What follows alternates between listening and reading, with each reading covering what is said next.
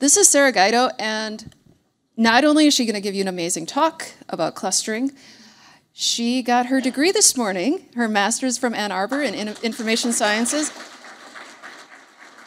And she's about to give you a really amazing talk on, I'm going to guess, maybe two hours of sleep. Like that. so, without any further ado. All right, so um, this is the repo, or it's not up here, it's up there, but it's not up here. Okay. Uh-huh.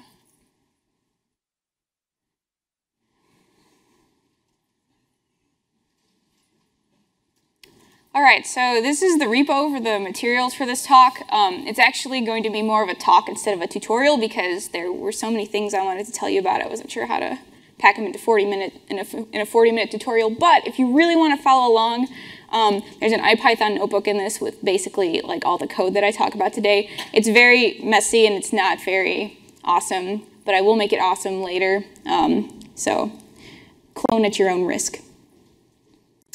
All right, so I want to talk to you about k-means clustering with scikit-learn because I think right now that's probably my favorite machine learning algorithm. Uh, a little bit about me. Um, like Cindy just said, I graduated from the University of Michigan today, which was which is great. So glad to be done. Um, in a couple of weeks, I will be joining a startup in New York City called Reonomy as a data scientist. And um, I, I like to be really involved with the Python community. Um, I created the Ann Arbor PyLadies chapter and um, if you're on Twitter, I'm also on Twitter and I love Twitter, so tweet at me. It's my Twitter handle, Sarah underscore Guido. Okay, so um, I'm just, today I'm going to get really in depth with what the k-means clustering algorithm is, um, how it works, when you should use it, and then I'll show you um, a very basic implementation of it and then implementing it um, with some tuned parameters, and then we'll, we'll compare those results um, just to just see uh, the how how good the different uh, tunings are. Um, I do want to mention that uh, my talk assumes that you have at least a somewhat basic knowledge of machine learning. Hopefully, you attended Portia's talk prior prior to this one, um, so you know what's going on with that. Um, I don't really explain basic concepts too much, so um, yeah, just to let you know. Um, so just to review, uh, clustering is a form of unsupervised data, or I'm sorry, unsupervised machine learning and um, it's useful for when your data is unlabeled and you don't know what you're looking for. The way that clustering works is it splits observations into groups so that observations in the same group are more similar to each other than they are to those in other groups. Um, and this is done by some sort of distance metric, um, like the Euclidean metric or the Manhattan distance metric. Um, and clustering is, is really useful for exploring your, da your data, especially if you don't know what you're looking for. And there are, there are many different kinds of, of clustering algorithms, and there are actually a lot of variations on the k-means clustering algorithm, but I'm just going to talk about that one today. So um, k-means clustering formally is a method of vector quantization, and um, it, it partitions the space into Voronoi cells, and um, basically separates samples into n groups of equal variance. And this works uh, by dividing up a set of points where each group is represented by its centroid point, um, which in k-means clustering are the k initial clusters you choose. So you choose um, the initial clusters for the clustering algorithm. And uh, it uses the Euclidean distance metric. And it also works to, within these clusters, uh, minimize the within cluster sum of squares. So the way that this works um, is basically a process of iterative refinement there are three basic steps. The first step uh, is you choose your, your K clusters, you choose however many cl initial clusters you want to start with, and then it iterates over um, the next two steps, which are assignment and update. in the assignment step, observations are assigned to the clusters they're most similar to, and then in the update step, uh, the cluster center is recalculated to the mean of the new cluster based on the assignment. Um, so the cluster center will move. Um, and, and then it reassigns the observations again to the clusters that they're most similar to, and then recalculates the cluster center. It'll move again. Basically, does this over and over again until um, convergence has been reached, meaning that the point, the the observations no longer move around, and the cluster centers no, no longer move around. So this is what this looks like. So um, the top right there, uh, the top left and right, that's the assignment step. Um, you have your observations, and you initially assign them to starting clusters. Here we have a red, a blue, and a green cluster. And then in the update step, um, on the on the bottom left there, you can see uh, the cluster center is basically recalculated, and then the observations are reassigned on the bottom right there. So we have three red points instead of two red points. We have five green points, and so on. Um, and this this will go on again until convergence convergence has been reached. So um, k-means clustering has um, is is pretty good for um, large amounts of data. It scales pretty well. Uh, it's, it's efficient because you are choosing the clusters, and it will always converge. Um, so its benefits are also sometimes its disadvantages. So um, if you choose the wrong K, things can maybe not make so much sense, as we'll see later. And um, the it, it usually converges to the local minimum, which um, is, is locally with it, like near the cluster the minimum value, but, but may not be the global minimum, so it may not be the minimum value in the data set, which can be good or bad depending on what you're trying to do. So um, k-means clustering is good for normally distributed data. Uh, Non-normally distributed data can really skew the results um, because we're using a Euclidean distance metric.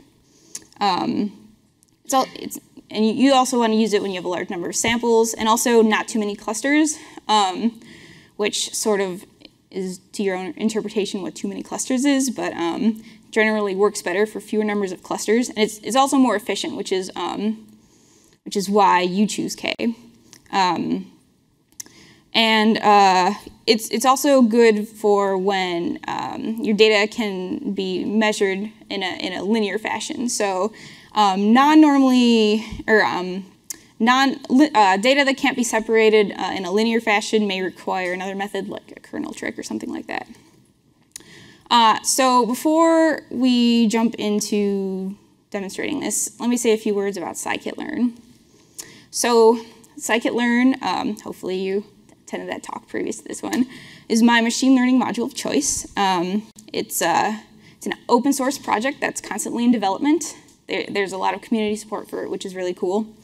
It's built on top of NumPy and SciPy, so you can use it in conjunction with those modules, um, which I will also do in a bit. Um, it has a lot of built-in data sets that you can mess around with for um, seeing how the different algorithms work. It's very comprehensive of the different algorithms, and there are a lot of tutorials and resources out there for actually learning scikit-learn. So this is just the basic fitting a model process um, in some pseudocode here. So we set a model equal to an estimator object. It's going to be our, our k-means algorithm. And then in unsupervised learning, you fit that model to your data, and you just, uh, you, your, your data is your data set. Um, in supervised learning, you would use the labels as, a, as another parameter for like classification, but um, not, not in uh, k-means clustering. So in scikit-learn, k-means is efficient and fast. Um, you pick the number of clusters to start with, and uh, the algorithm finds those initial centroids. And um, a really cool thing you can do is you can run clustering jobs in parallel, which I haven't done too much with, but it, for, for large-scale data, it looks like it would be pretty good. Um, so before I, I show you this on, on my data set, let me say a few words about that data set. So um, I took this data set from the University of California Irvine Machine Learning Repository website. Um, it's a really great website with a lot of different data sets.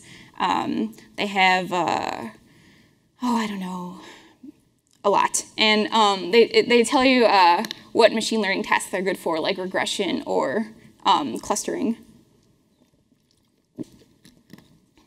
So the one that I chose um, for today, because it looked kind of fun, was the individual household power consumption data set, um, which basically uh, records household power cons consumption. And um, the data set has about 2 million instances. I'm not using all of them because um, it was, it was uh, making certain things run really slowly for the purposes of, of creating this. But um, so some of the different, the different features in this data set uh, global active power, um, which is household global minute averaged active power in kilowatts. Global reactive power, which is household global minute averaged reactive power in kilowatts. Um, voltage, which is minute average voltage, voltage in volts. Global intensity, um, household global minute average current intensity. And then um, submetering, one is kitchen, two is laundry room, and three is water heater, air conditioner. And what these things really mean, I don't know because I don't know anything about power consumption. So, so uh, let's just explore our data set. Um, so let's just first throw this data into a k-means estimator with the defaults and see what happens. Um, so we create our k-means object, k-means equals k-means, and then we fit it to our values. So let's see what this does. So uh, a few notes. Um, I ran some uh, principal component analysis on this to, uh, to get it down into two dimensions so I could better visualize it. Um, this is what we get though. So the white X's are the centers, are the center clusters of those uh, initial eight centroids, um, and eight is the, the default um, number of clusters you get when you just pass in a data set to the estimator. And this is great, um, kind of interesting, kind of looks useful, but maybe we can do better. So let's talk about tuning some of the parameters of this algorithm. Um, it has eight different parameters that you can, you can tune. Um, so, uh, n clusters is basically choosing k, the, the number of clusters you want to choose. Um, max iterations the, the maximum number of iteration, iterations we'll go through those uh, assign, assignment and update steps in a single run. Um, let's see. Uh, the n jobs parameter is the, um, when you can, uh, you can say if you want to run it in parallel or not. Um, so I'm actually not going to talk about all of these because uh, that would be that would be a lot. So I'm going to um, talk about n clusters and how to choose k, and also the init parameter, um, which is basically um, how you choose uh, to assign those clusters. So let's start with uh, the number of clusters. So, as you might have guessed, um, choosing k is the most important part of k-means clustering because if you if you do it wrong, your results aren't going to mean much. Um, there are there are different methods. There are a lot of different methods for doing this. Um, in machine learning, there are usually a lot of different methods for doing a lot of different things, and it's impossible to talk about all of them in 40 minutes. Um, so, uh, three interesting ones. Um, you can graph the, uh, the percentage of variance explained against different values of k, and at some point, um, adding more, more values, or higher values of k will stop significantly explaining the variance. Um, you can use an information criterion, and uh, this will determine um, the goodness of fit for your estimator. You can also use cross-validation, um, which, much like uh, using cross-validation to test how accurate your model is, you can use it to test different values of k. Um, I'm going to focus on that first one though, graphing the variance, because I think it's really interesting. So unfortunately, there is no built-in function in scikit-learn to graph the variance. So um, you kind of have to make up your own. So we can use um, SciPy and NumPy to figure it out. Uh, I'm not going to um, explain every single piece of the code that I wrote here. I'm just going to give you the general overview of what I wrote. So um, we, we need two, uh, two functions from SciPy, uh, the cdist function, which uh, is a di distance computation between different sets of, of, observations, and then the pdist, which is the pairwise distance computation between observations in the same set. So we get these. Um, first, uh, we want to determine what values of k we want to test. So since 8 uh, since choosing uh, eight initial clusters looked pretty good earlier, um, I'm going to just test up to choosing 14 uh, clusters.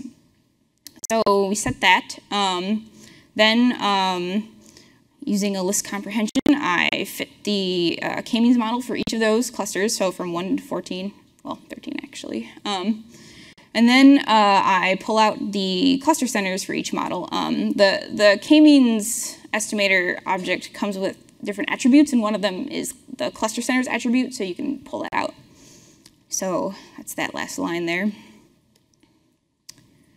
Um, then uh, we're almost done. We calculate the Euclidean distance from each point to each cluster center. Um, we get the total within cluster sum of squares.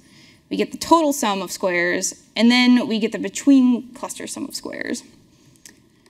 And if we graph that, we get this.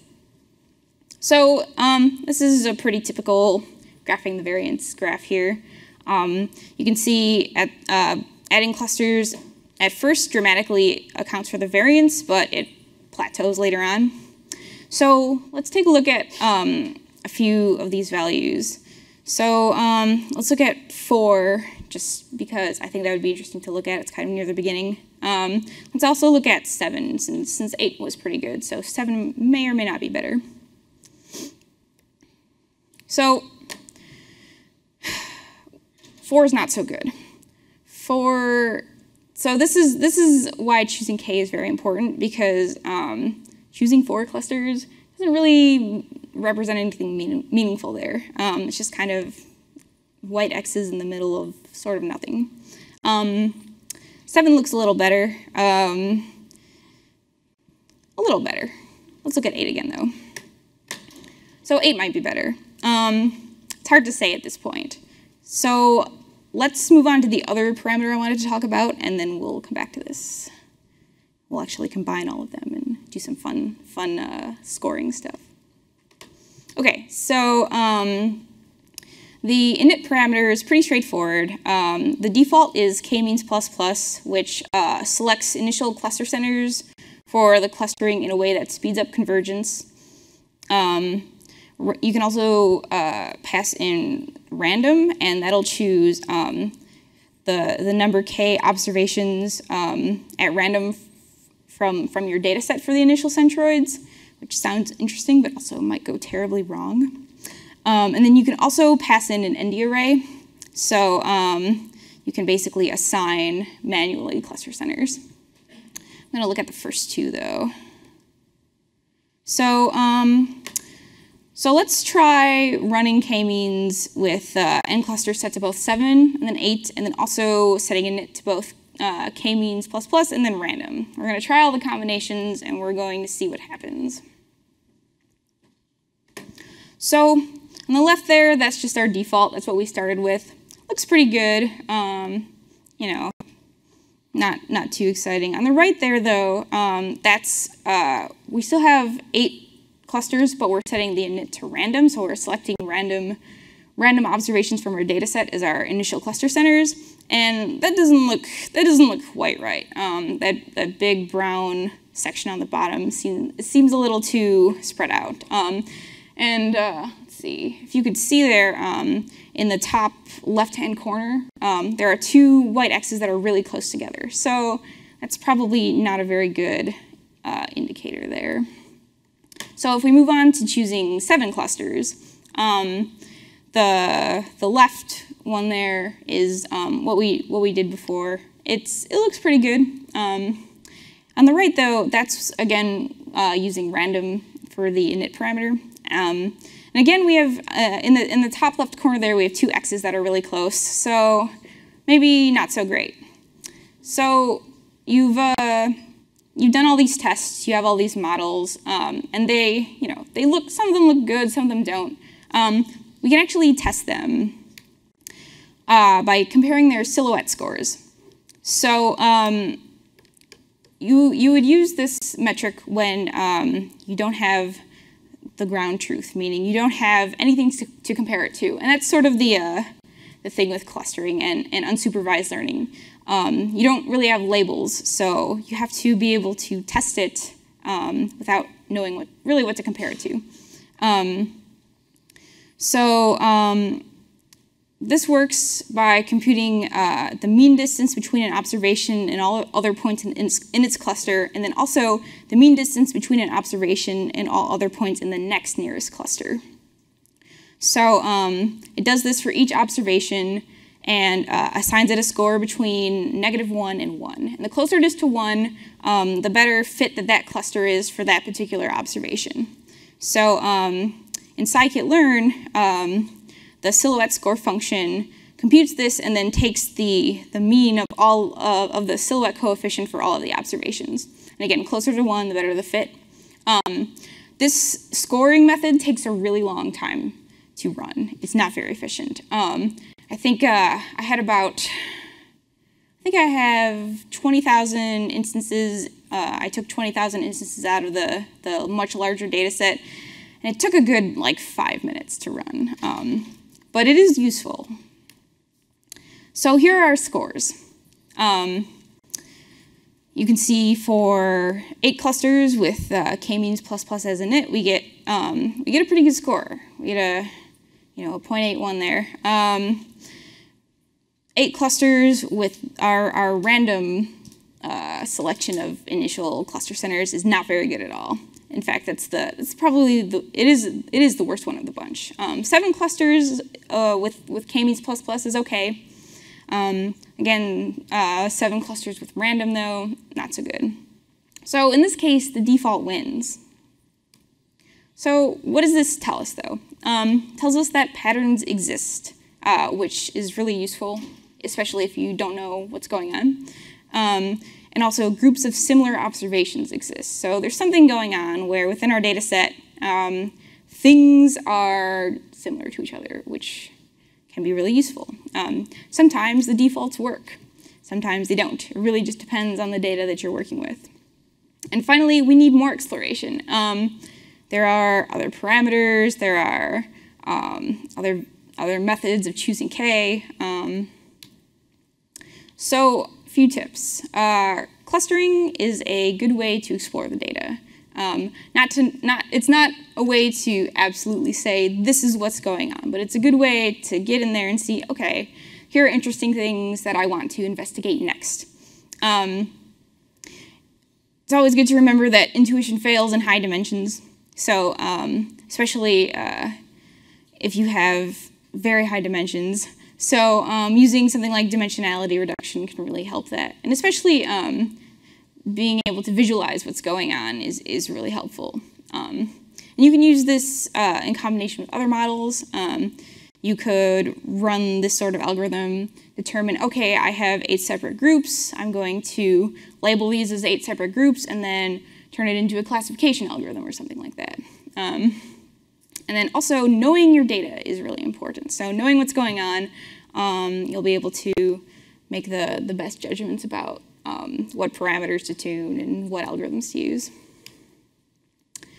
So um, there's a lot of great materials out there. Uh, the scikit-learn documentation is really good. Um, highly recommend it. There are tutorials on there. There are uh, a lot of resources for machine learning data sets out there. Um, there's the, as I mentioned before, the University of California Irvine uh, Machine Learning Repository website, which is that first link there in the datasets section. Um, really great, very comprehensive. Um, and also mldata.org is, is pretty good. There's some overlap, but um, there, there's also some unique stuff. And then um, I found this really cool blog the other day that, that uh, walked through some of this stuff, um, Data Science Lab. So yeah, check it out. And finally, um, contact me. I'm on Twitter, I'm on LinkedIn, I'm on GitHub. Hopefully, uh, I will be able to make the materials for today a little less um, messy and more thorough. And then, uh, yeah, you can learn about this all you want. So that's all I have for you. Um, let me know if you have any questions.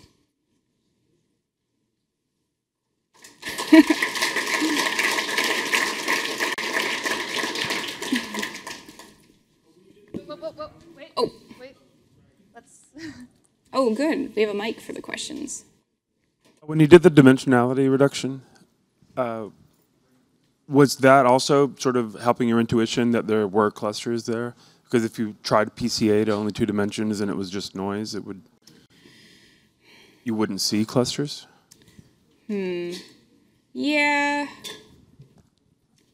I think yeah. I think um, doing that sort of thing is also a very important first step in sort of seeing what's going on. Um, and, and yeah, reducing the noise. So I would say yes, definitely.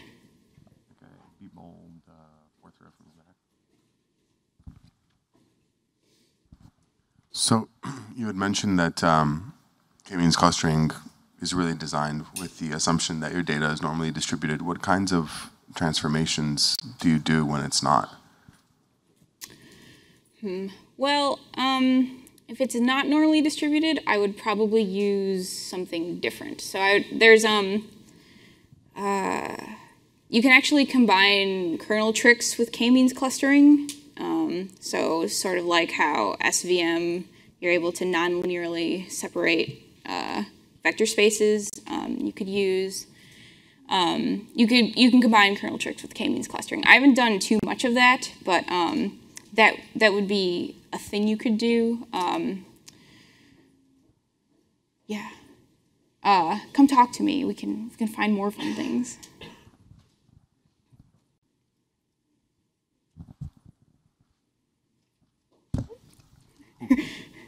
nice catch.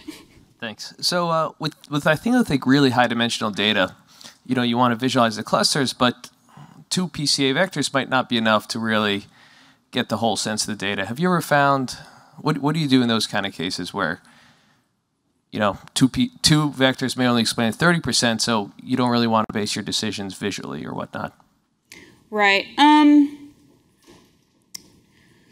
So I really only did that for the purposes of this talk. If I were really doing it, um, I would really, you know, I would really try and figure out what the best, uh, you know, what the best number of components is, and um, uh, visualization is not my strongest suit. so um, in terms of visualizing it, I'm not sure, but um, if I, you know, if I was doing this in a real life situation, I wouldn't just, you know, willy nilly pick two. I would I would you know do feature extraction and you know really figure out what would be the best number of components. So yeah. I guess that's not a great answer, but that's all I got.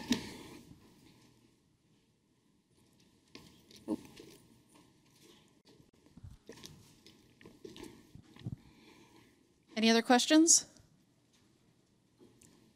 This is your chance. That's a great question. Um, My question was, can we download the slides somewhere? I will put them on SlideShare immediately, and then um, I will tweet the link. So incentive to follow me on Twitter. And all of these are being recorded, so they're going to be accessible to people. oh, there we go. Anybody else? Okay, can we all thank Sarah for staying awake long enough to talk to me today? So we are done a little bit early. Um, I think there's something else after this, and I can't remember what it is. Uh, there are drinks in the city. So if you are not aware, you should have been sent an email that tells you that uh, Zipfian, if I'm saying that wrong, I apologize, uh, is sponsoring a meetup up in San Francisco.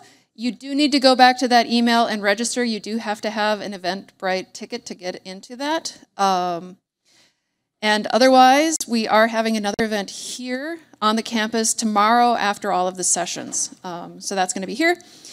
And why don't you guys start wrapping up and we'll start getting you guys escorted to the next place you need to go. Thanks.